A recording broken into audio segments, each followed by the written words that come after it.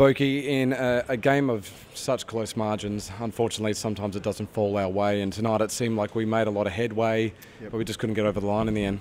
Yeah, it hurts, you know, even more. You know, you dominate the game in a lot of key areas, um, you know, especially in that last quarter. Um, you know, and to come over the loss is, is really disappointing. Um, you know, probably just a, a, little bit of composure and, and class at times really let us down. But look, I couldn't question the boys' effort tonight. I thought it was outstanding.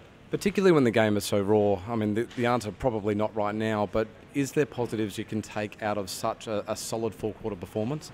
Yeah, look, you can. Um, you know, obviously, I think you know at times tonight we, we dominated the game. Um, you know, and I think at times we moved the ball well, at times we didn't. Um, you know, a, a, lot of key guys really stood up in moments tonight, and um, but yeah, obviously it's still pretty disappointing. Yeah. Um, you know, to come away with a loss, it's um, it's frustrating. But look, we had a really good week. Um, we took uh, some big steps forward, and unfortunately didn't get the result. But we'll continue to, to work on um, you know key areas of the game.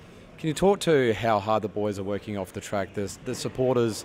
Uh, it, it, seems like there's a lot of frustration there, particularly with recent form. But tell us what's going on behind the scenes. Yeah, look, I think um, you know the players are just as you know, if not more, disappointed with the results that have, have happened, especially over the last probably six or seven weeks. And you know, we're definitely trying to improve and, and find those answers. And we're, you know, we're coming to the club every day to, to make sure that we're getting better and walking out better than, you know, we were. So, um, you know, we want results as, as, as, much as the fans do as well. So um, we'll continue to work at it. We'll, we'll continue to challenge each other and, and, we'll get better.